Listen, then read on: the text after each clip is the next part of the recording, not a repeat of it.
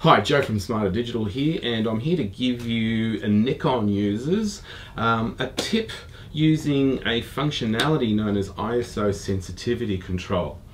So ISO sensitivity control is a way of being able to um, cap uh, the amount of ISO that your camera can go up to um, with a minimum shutter speed in mind.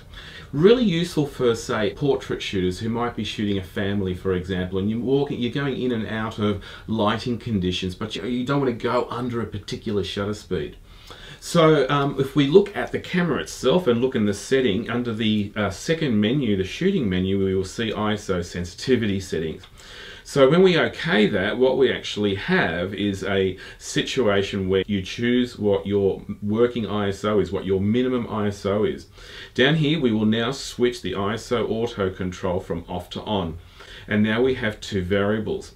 So let's say that we want the camera to not go anywhere below 1 100th of a second, but we're happy for the camera to go up to 800 ISO, from its minimum 200 ISO, to be able to get that minimum shutter speed. So what you see here in the first shot is that I'm in aperture priority and I'm shooting at 5.6. Now there's my ISO 200 uh, and I also have a shutter speed of 1 125th of a second.